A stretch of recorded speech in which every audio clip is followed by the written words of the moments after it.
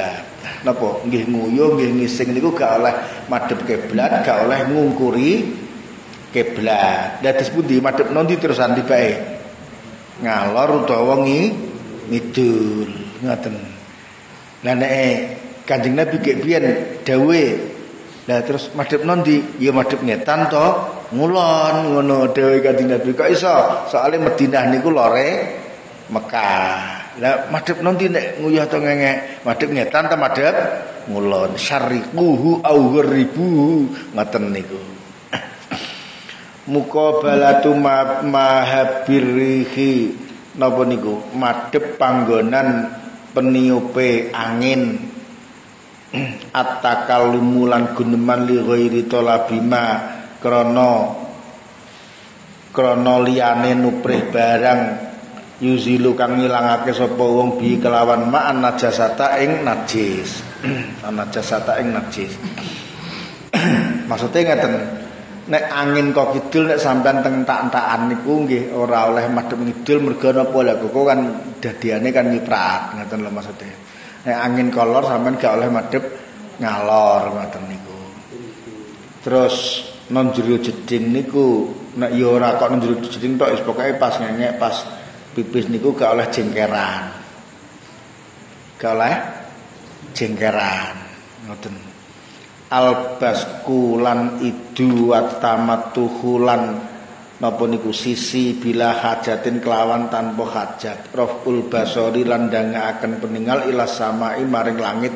Qadul hajati lan nekani hajat tahta sajarotin ing dalem ngisore wit-witan musmiratin kang awa auzilin utawa aup-aup tajik tami kang kumpul fihi ing dalam aup-aup sapa nasu menungso napa malih? Nguyuh utawa ngising niku aja nang ngisore wit sing biasane dinggo jagong wong. Ngoten nggih. Mergo napa? Ya anjene penak-penak dinggo jagong mulai-mulai ka sawah utawa sing ngenteni apa niku ngoten niku dinggo mbok isingi. Niku nggih napa niku? Gak kena dinggo jagong ngoten akhire kok ngono.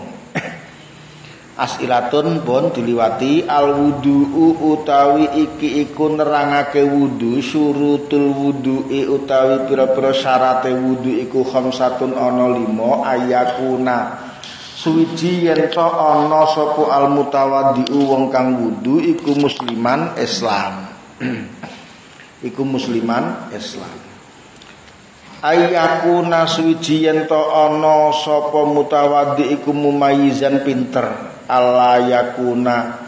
An yen to ora ana iku ala ado il wudu'i tetep ing atase gauta wudu apa hailun perkara kang ngaling-alingi yamnau kang nyegah apa hail wusulal mai ing tumekaning banyu ilal basyarati maring kulit kasamin kaya lilin wa syahmin lan gajah wa masih ainin lan blobok meripat Allah ya taqidalan yen to ora nekatake sapa wong fardun ing fardu ing siji fardu min furudihi kang tetep saking pira-pira fardune wudu sunatan ing sunah ngoten nggih.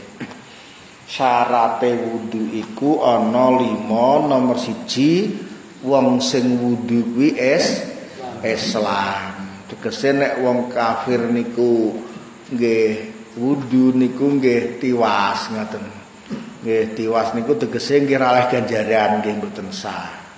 Lah mulane kula sampean niku nek menawa gek mang kafir utawa murtad niku napa? Niku terus ape wudu disunatno? Asyhadu alla ilaha illallah wa asyhadu anna muhammadar rasulullah. Terus lagi wu wudu ngoten Nomor loro kudu pinter. Pinter piye maksude? Pinter pelanggerane bocah cilik pinter. Bocah cilik pinter niku iso adus dhewe resik, iso cewek dhewe resik, iso mangan dhewe, nek eneng montor nyingkreh, nek eneng joglangan di singkrahi, nek niku jenenge pin pinter bocah niku umur pira niku? Bocah ngoten niku?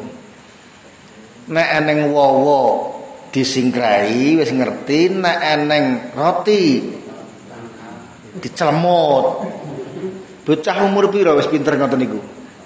Nek eneng es dicolong, disemut, nek eneng wawa disingkrah, nek mlaku rono torono nek eneng joglangan nyingkrah, nek nang ratan nek eneng motor aja nyabrang dhisik. Niku jenenge mumayis, tamyiz.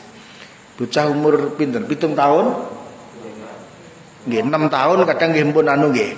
6 tahun. Sak monten niku kudu niku watese. Lah, kok diwatesi ngoten niku? Bocah cilik ndah nggih, urung dadi ndah nggih, kudu mbok ulang wudu, ora dadi-dadi ndah. Ngoten. Lah, watese napa? Bocah cilik niku, bocah sing cilik niku piye nggih pelanggarane? Aja mbok mbok aja leh dolanan Al-Qur Al-Qur'an. Ngoten. bocah cilik niku ora oleh dolanan Al-Qur'an. Nang dicandak Qur'ane nang di ngeten pomo belajar-belajar ya kudu nganggo buku-buku biasa. Niku Qur'an sing gedhe niku ora oleh dinggo dolanan cah cilik apa dinggo ret-retan ngoten niku. Pekarane enten hubungane kalih niku. Mumayyiz niku watese ngoten niku. Terus napa malih? Tidak ada sesuatu yang menghalangi air ke kulit. Napa niku? Kaya lilin, gajah, blobok meripat, apa malih? Eh, cat, nggih. Lem, apa malih? Wedak keli, nggih pokoke wedak sing eh, niku nggih. Lah, kuku dipacar ngoten niku lho.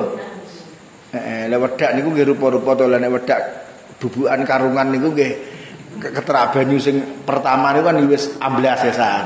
Kok wis wis wis kena ngoten. Lah nek keli kan ora kena to. Meletas banyune ya. Niku ngoten. Balsem niku nek nek kandil-kandil ya ya ngalang-alangi niku ya kudu disabunke ngoten balsem niku. Niku nek nek lah nek tipis-tipis ngoten nggih anu karepe dhewe ilang karepe dhewe ngoten. Ngoten nggih. Lah blobok niku nggih kudu di di diresiki. Terus napa malih? Tidak meyakini fardunya wudu diyakini sunat. Ngono ya. Tidak napa? Meyakini rukun wudu diyakini sun sunnah. Ya berarti nggih kudu kudu ngaji, kudu ngerti sing sing sunat sing ndi sing sing fardu sing ndi ngaten niku. ngaten nggih. Faraidul wudu'i utawi pira-pira fardune wudu iku sitatun nenem wahya utawi nenem iku aniyatun niat inda ghusli awali juz'in. Uh, ing dalem nalikane masuh kawitane bagian minal wajhi kang tetep saking rai. Ghuslul wajhi masuh rai mimam bati sya'ri roksi saking panggonan cukule rambut sirah ila muntahadzakoni tumeka marang poe jenggot. Wa minal udhuni lan saking kuping ilal udhuni tumeka maring kuping kang weneh. Ghuslul yadaini masuh tangan loro bainal mirfaqaini ing dalam antarane sikut loro. Wa ma lan barang tahtal adzafiri kang ana ing ngisore pira-pira kuku atau wilati kang dawa alati tas turu kang nutupi apa tawilah al anamila ing pira-pira pucuke driji. Mashu ba'dir roksi ngusap setengah sirah. Wa illam yakun alaihi sya'run senajan ora ana iku alaihi ing atase wong apa sya'run rambut. Wala yakfilan ora cukup apa dadi maksudnya gundul iki gundul gundul babar pisan maksudnya gundul napa gundul di di dikerek di nggih. Niku nggih tetep kudu ngusap sirah sing sing diusap napa nek ngarani nek ngarani apa nek patake patake yo nggon cukul kulite kuwi kok. Niku ngoten senajan raning rambuté nggih niku gundul-gundul sing anu kula kenane nggih gundul tapi gundul rada jek rada ijek dijek sate maksudnya ngoten anu di di dicukur lho dicukur nggih dikerek nggih. Lah niku kan tulisan niku. Ngaten nggih. Niku anu, niku nggih tetep kudu ngeten ngeten terus diusap nggih kulite niku sing diucap. Bahasa bahasa Inggrisnya patah. bahasa Inggris itu kudu kudu kok. Patah mkrewak kono. Lah iyalah. Ngono ki. Lah mencene bahasane ngono kok. Mencene bahasane ngono kok. Ngoten nggih. Eh wala yakfilan ora cukup apa mashu sya'rin ngusap rambut tola kang dawa apa sya'ar an hadir saking angger-anggere sirah. Piye? Rambut sing dawa ngeten teng mriki nggih.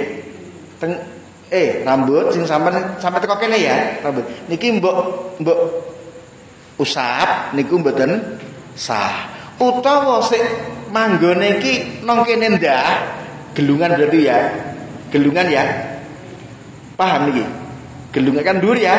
Eh plek ngeten tapi kira-kira umpama mbok tarik rene teko kene niku nggih mboten sah. Lah rambutnya dawa ndah ya poke to sing di sing diusap dong nggih. Rambut sing dawa sing sing dawane niku sing pucuke niku diusap mboten kena mboten sah niku ngoten